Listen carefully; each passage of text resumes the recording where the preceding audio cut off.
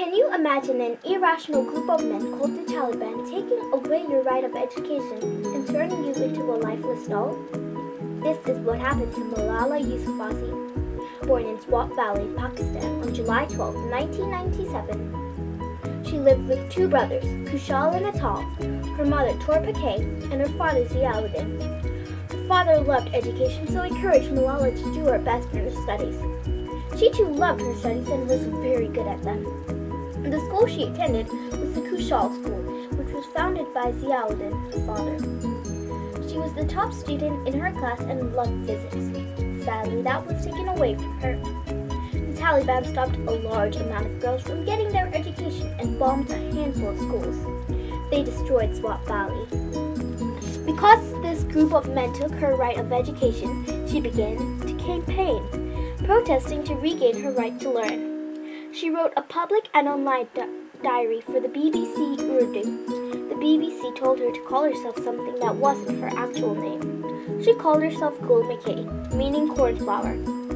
Since she cherished her school very much, she and her friends secretly continued to go when the Taliban permitted girls under the age of 10 to go back to school. She was 11 at that time. Because of all her campaigning, the Taliban wanted to silence her by shooting her. They shot her in the head and it was a mortal wound. Luckily, she survived. After she was shot, she moved to Birmingham, England for protection and extra surgeries.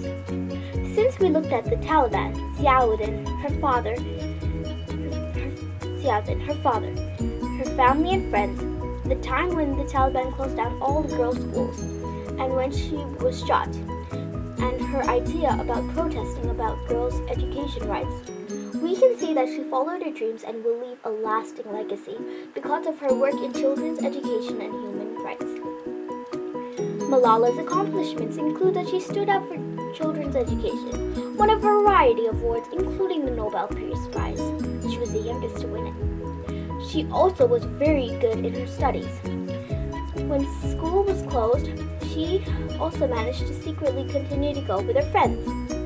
Her legacy is that she fought for children's education, mostly for girls. Unfortunately, we know about her because of the shooting incident from which she had to suffer.